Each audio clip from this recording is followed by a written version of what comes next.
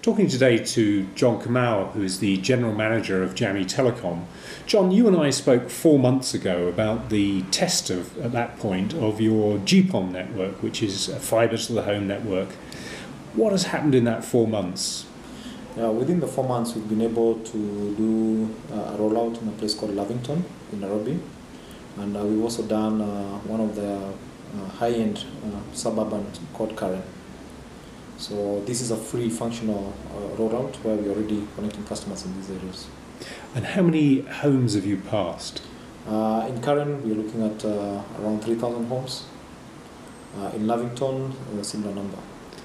Okay, so you're coming up towards the 10,000 homes passed at this point. Yes. And what's your expectation in terms of how many people will subscribe within those homes passed in the first phase?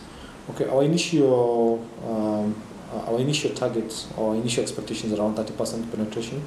But as we move along, uh, we believe that uh, the demand will actually uh, increase, and this will be actually prepared by you know like what I was telling you, people having more reasons to be on the net, either for cloud applications or uh, wanting to work from home. And the long term plan is to cover how much of the country? I mean, our, our initial target right now is to cover the two main towns, that is Mombasa and Nairobi. And that will give you a total of how many homes passed at this point? Uh, we are looking at around 100,000 homes. Okay, and over what sort of time scale are you Uh, probably around three years from, from now? Yeah. Okay. And when we'd originally talked about this, you had given me the, the total vision of triple play with voice and TV and whatever. What's the experience been now that you're now that you're actually selling to the customer? Okay, right now for us is that uh, most customers are looking for basic connectivity to the net. Uh, obviously, our package comes in with the, with the voice, but again, um, very few people are using fixed voice nowadays because of the competing technologies like the mobile phone and uh, things like uh, Skype.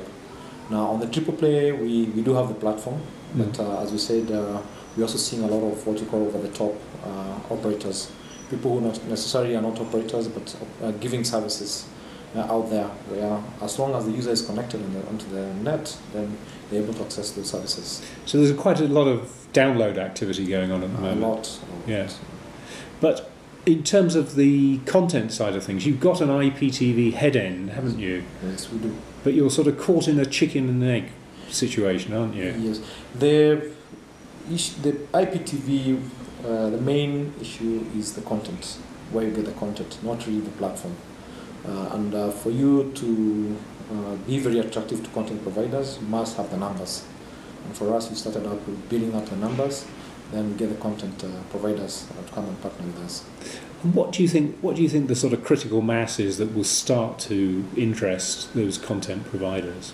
Uh, I think uh, for our market today, the moment you hit um, 3,000 uh, and above, any uh, of the competing uh, content providers will uh, definitely start talking to you. So people like Wananchi and DSTV and people like that will start saying, "Oh, this is an interesting distribution method." Yeah. If you reach that scale, Yes, yes, true. okay. Going back to cloud computing, um, how many people in Kenya are offering cloud computing services for um, small and medium-sized enterprises? We do have about uh, five operators who have come out uh, offering the cloud computing. But again, uh, my view of cloud computing is uh, as long as you're on the net, you can actually access the services, uh, even the ones which are offered from outside the country. Today, I'm using uh, one of the uh, latest applications, MyRP, which is actually hosted, I think, by Google, by Verizon. So we have five of them, but as long as users are connected to the internet, they are able to access any of the available uh, So applications. people like Safaricom and IS and Quintica are all offering these kinds of services. Yes, they are. Okay. And you were telling me earlier that the GPON network is future proof. So describe to me what the next iteration of the GPON network will bring. Okay, today we're talking about uh, on the, the first or the first phase of GPON. It's a one gigabit pipe uh, shared among a number of users. Now vendors are already preparing for the next phase, whereby a user will be able to get a gigabit by themselves. And uh, I think uh, they probably not stop there. We'll Right. see So trials are being run on that basis. users will also be able to get up to a lambda to themselves. Once you get the lambdas, today lambdas have been pushed up to 100 gig. Yeah. So it's actually future-proof in as far as we are concerned in terms of meeting the end user's requirements. So what's your view of competing with something like? LTE? Um, as I said, the LTE, all these technologies, LTE, WiMAX, and cable uh, systems, they all have caps. They can either do up to a maximum of uh, certain capacity, and uh, like LTE is a shared resource. So the throughput that you get is not predictable. It actually depends on the number of people that are connected on a sector. But what we've seen is that there are some new technologies uh, like the femtocell technology, whereby now the individual is actually getting a small base station within their houses. So you'll still use the LTE as a technology between your CPE, that small base station within your house. It's a, actually a private base station. Mm. Then the backhaul from that base station actually uses broadband, and most of them are actually using going to use uh, GPON. Okay. And you were talking earlier about what you're able to achieve with WiMAX. What's what's the maximum you can do with WiMAX? WiMAX it all depends on the spectrum and the number of people who are hooked up, and also the it's statistical.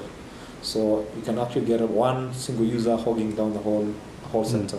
So our experience has shown like today effectively you cannot offer a sustainable uh, throughput of over two megabits if you have quite a number of users on it.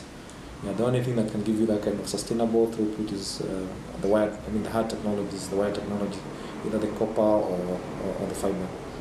And it's not just um, household customers, you're also getting business customers on the network. So describe the types of customers that are coming onto the network from the corporate side. Yeah, from the corporate side, you find that uh, in some of the residential areas, and especially like as Nairobi is growing, it's very hard now to distinguish between uh, a business area and a commercial area. There are people who are running small businesses within the houses, and there are also people running big businesses within the, the residential areas. So we do have a mixture of uh, uh, both uh, enterprise and uh, residential users. So what would be the maximum connection that a corporate has taken off you? Um, most of them uh, we look at uh, 30 to 40 MB, depending on the kind of institution it is.